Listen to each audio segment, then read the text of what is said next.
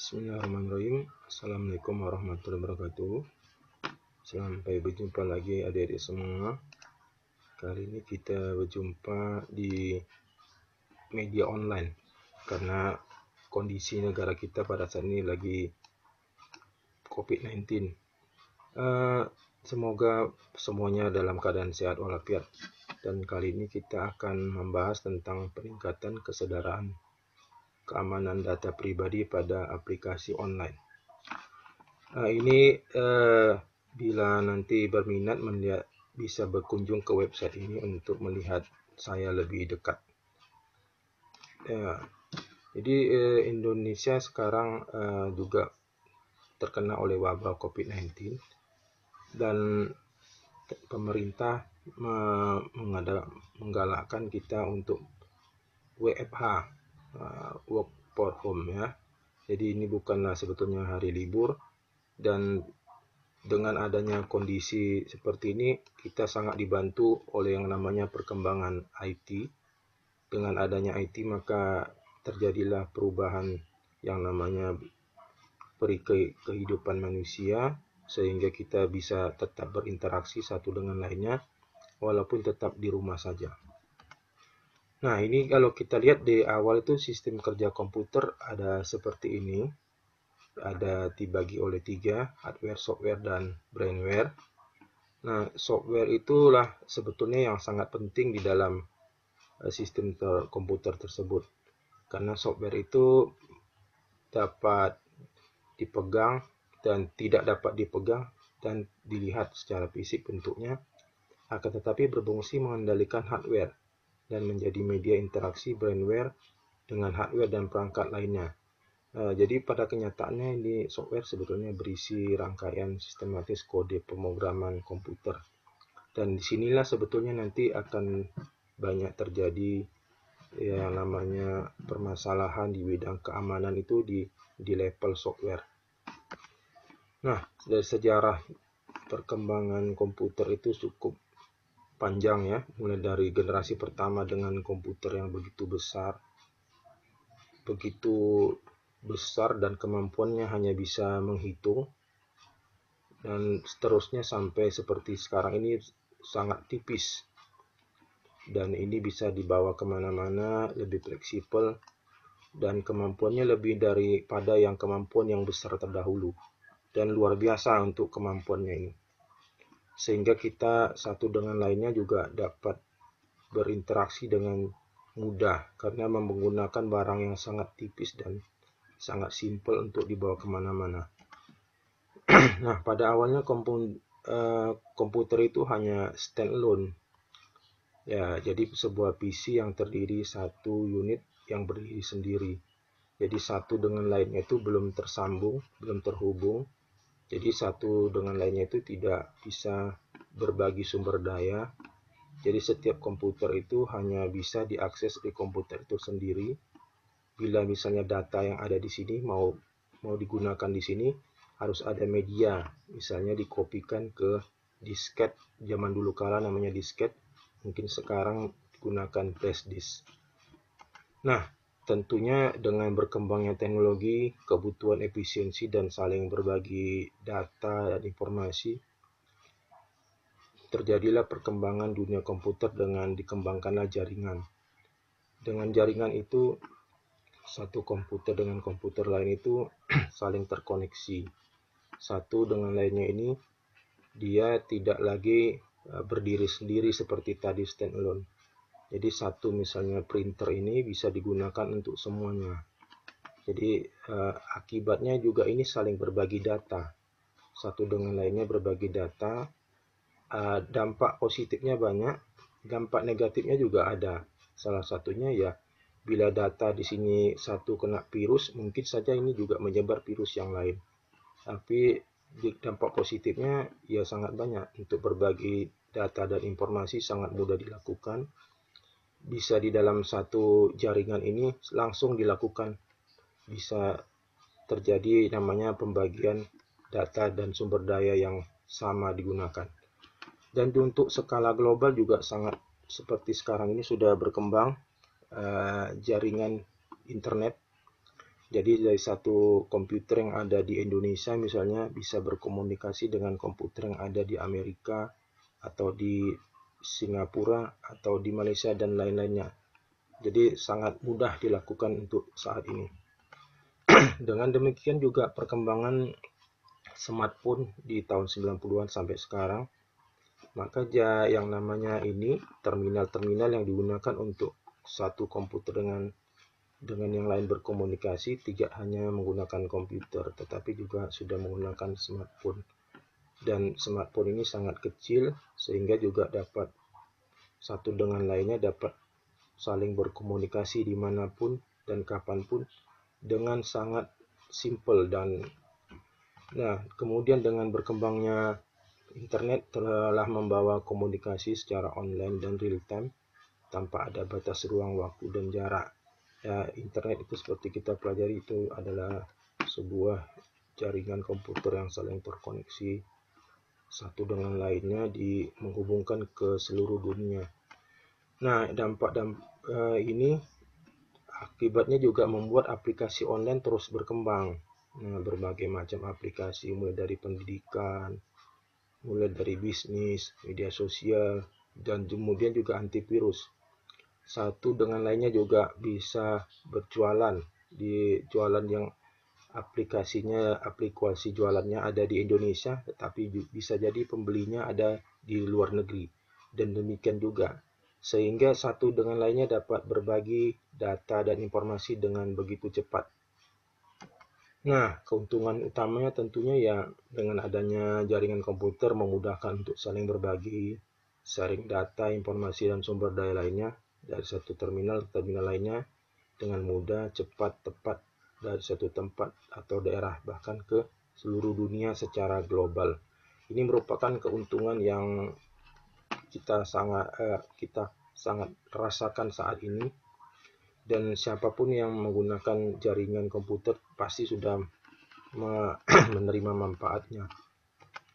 Akan tetapi tetap ada risiko daripada uh, namanya jaringan komputer ada beresiko yang sangat perlu kita ketahui adalah risiko keamanan.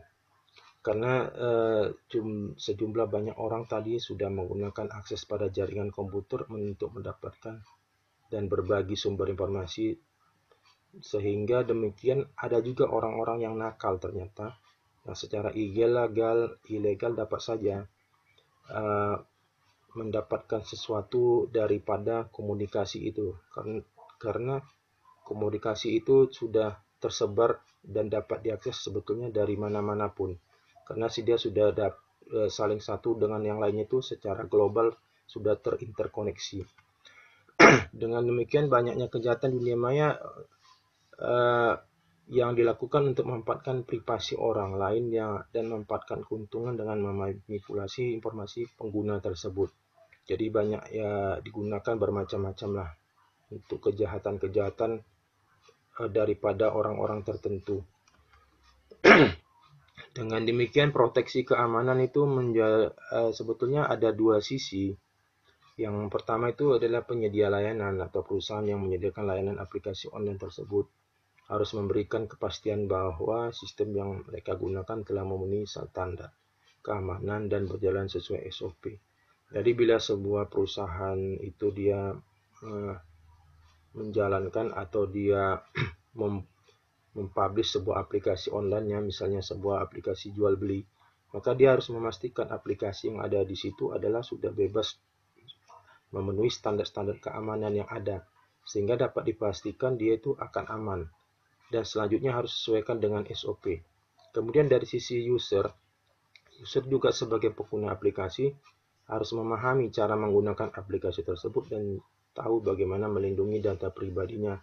Karena uh, bagaimanapun penyelidayaan membentengi, memproteksi keamanannya, jika di sisi user itu tidak memahami tersebut, maka akan tetap juga keamanannya menjadi tebo, terbongkar atau dapat ditembus oleh oleh para hacker-hacker.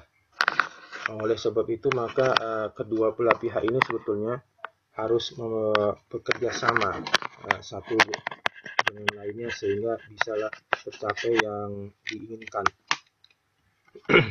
Uh, sehingga harus diketahui oleh setiap user itu atau pengguna itu sebaiknya haruslah yang pertama jangan lakukan membagi data pribadi dan keluarga Anda di media sosial karena semua orang dapat membacanya bahkan mengkopinya. Apalagi media sosial, semua orang bisa melihatnya entah dari mana-mana pun. Misalnya ada sebagian orang yang sangat bangga men-share di media sosial uh, KTP-nya, ada pasportnya, bahkan ada pula ijazahnya. Mungkin juga boarding pass-nya, alamat rumahnya, foto sidik jarinya atau mungkin bukti transaksi pembayarannya. Padahal di situ semuanya berisi data pribadinya yang satu saat bisa juga digunakan orang untuk disalahgunakan. Jadi yang kemudian sebaiknya digunakan paspor, password kombinasi bilangan, simbol serta bukan bagian dari data pribadi dan keluarga Anda. Ini perlu dilakukan karena apabila data Anda dan pribadi Anda itu akan mudah ditebak oleh orang orang yang tidak uh, berwenang sehingga jangan gunakan dari bagian dari data pribadi dan keluarga Anda. Misalnya uh, nama anak Anda jangan gunakan atau nama istri Anda atau mungkin misalnya nomor plat mobil Anda uh, jangan pernah digunakan. Nah, kemudian yang ketiga pastikan itu komputer Anda itu diinstal dengan antivirus, tentunya dengan antivirus yang kredibel. Jangan sembarangan antivirus dan seharuslah terus diupdate antivirus itu sehingga dia bisa up to date eh, jika ada virus-virus yang baru. Kemudian keempat, jika menerima email atau SMS yang menawarkan berbagai macam hadiah, eh, hati-hati karena eh, email tersebut harus diperiksa kebenarannya, jangan mudah percaya. Karena ya, saat ini itu sudah banyak yang namanya phishing. Nah, phishing itu adalah dengan cara dia menyamar sebagai orang lain dari orang yang berwenang. Jadi tiba-tiba Anda misalnya selamat Anda menerima hadiah sekian rupiah. Jangan mudah percaya. Pastikan email tersebut dari pihak yang memang benar-benar memberikan hadiah tersebut. Nah, sebaiknya Anda periksa dan Anda konfirmasi terdahulu. Kemudian yang kelima, jangan mengunjungi website yang ilegal, apalagi yang pornografi, karena ancaman mengintaimu dan akan masuk ke komputermu. Karena bila Anda mengklik misalnya website tersebut, website tersebut ada berisi sebuah virus, malware. Nah, itu akan otomatis masuk ke komputer atau smartphone Anda. Dan biasanya itu satu waktu nanti akan bisa mengirim ke orang tertentu atau juga akan meng menguras data Anda. Dan itu Anda mungkin tidak ketahui. Nah, sehingga itu memang sangat berbahaya.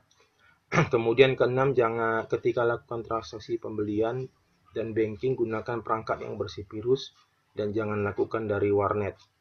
Kenapa tidak dilakukan dari warnet? Karena di warnet itu kadang-kadang dia menyimpan daripada uh, data yang kita uh, lakukan di situ. Dan kadang-kadang dia juga memasang spy. Nah, dan ketujuh berhati-hatilah melakukan pembayaran dengan kartu kredit beberapa transaksi pembelian tidak menggunakan OTP on on one time password. Jadi ini berbahaya. Nah, jika tidak menggunakan OTP berarti uh, nanti uh, dia akan tersimpan dan bisa di, diintip. Uh, ada kemungkinan diintip oleh para hacker-hacker. Tapi bila apabila menggunakan OTP dia hanya begitu kita transaksi passwordnya akan berbeda dari satu dengan yang lainnya dan biasanya password itu ada limit waktunya.